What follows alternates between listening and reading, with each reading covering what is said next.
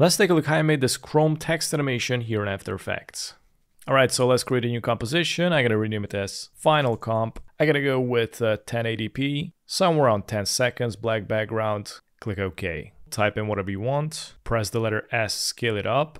I went with the Carol Grotesque Regular. It's a free Adobe font you can download. I'm gonna leave a link in the description. And for this example, I'm gonna drag and drop this texture I went with these chrome textures from rawpixel.com. I'm gonna leave the links in the description with every each. Now we're gonna go and right click on the chrome texture. Let's go to pre-comp, rename it as texture, and make sure to select move all attributes into the new composition. Click OK.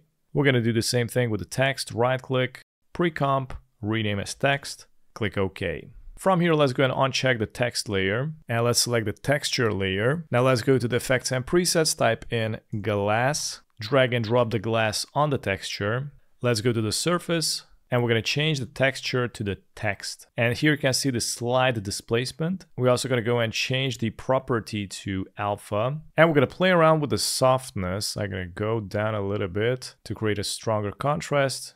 Now I'm going to go to the height. I'm going to go with 60-ish. And here we got the displacement as well. So I'm going to go with uh, the height 40, displacement 60. Let's go back to the effects and presets, type in plastic, drag and drop under the glass. We're gonna do the same thing here, open up the surface, change the texture to text, luminance to alpha, and I'm gonna bring down the softness until it's going to disappear that outline. Now let's see the height.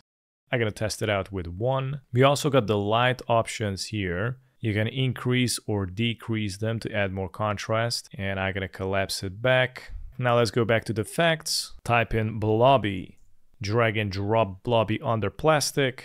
Oh wow, check this out. We're gonna open up the blobbiness, and again, we're gonna change the texture to text. Properties to alpha, and here with the softness and cut away, you can reduce those thick strokes or increase it back. And from here, we're gonna go and animate this texture and also increase the contrast and the details. So we're gonna go to the effects and presets, type in turbulent displace and drag and drop above the glass. And here you can increase the amount and check this out. It is going to distort the texture and it's going to increase the details quite a bit until it's going to create these dark areas which we don't want. So I'm going to decrease the amount until it's going to disappear actually. You also got the size, you can test that out as well, check that out. It makes it even more colorful. Now we're going to need to animate the texture. We're going to go to the evolution, activate the stopwatch, and I'm gonna go somewhere around seven seconds and I'm gonna type in here one. So it's gonna rotate 360 degrees.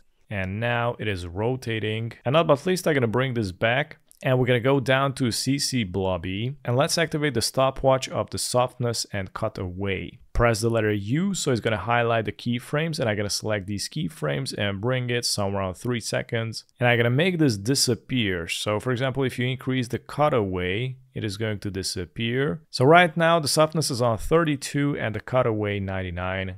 Let's see what happens if I hit play. Beautiful. I'm also going to select all the keyframes, press F9 to easy ease, and that's how you make this liquid chrome text effect here in After Effects. Thanks for watching. Bye.